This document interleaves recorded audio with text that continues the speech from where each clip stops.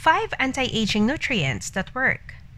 Eternal youth and beauty are highly coveted by many people.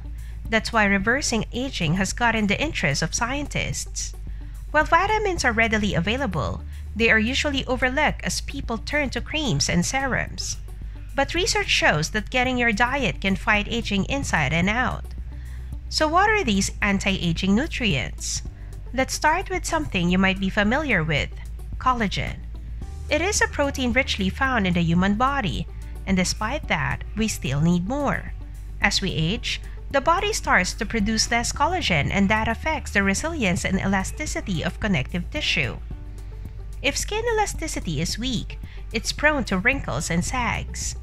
According to Harvard T.H. Chan School of Public Health, many studies suggest that consuming collagen supplements can improve skin elasticity and even decrease joint pain.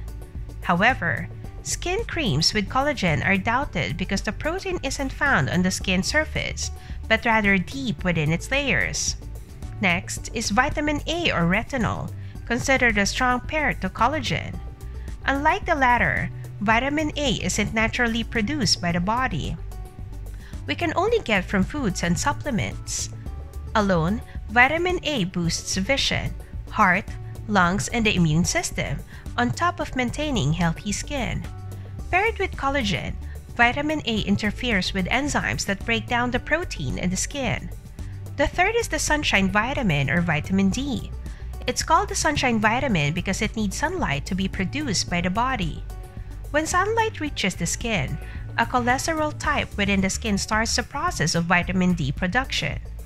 This production involves the liver and kidneys as well. But since the kidneys do the last step, vitamin D is technically considered a hormone. Getting a good amount of sunshine can make your skin healthy and glowing, though too much can lead to skin damage and a higher risk of skin cancer. Of course, vitamin E is included in the list.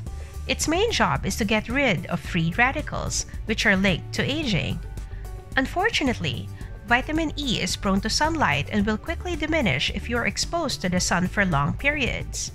While you're getting vitamin D from sunshine, you're possibly losing vitamin E in the process. So, better eat fruits, veggies, nuts, and seeds to restore that lost vitamin E. The fifth on this list is resveratrol, which may sound new to you.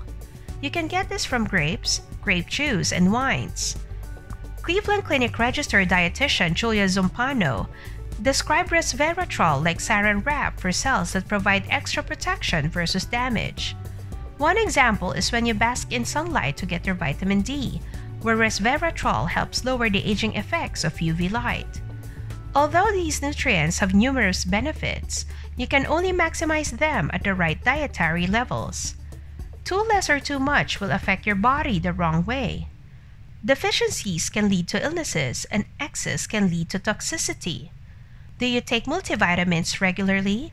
Do you spend time getting sunshine? Share your thoughts in the comment section. Till our next video, thanks for watching.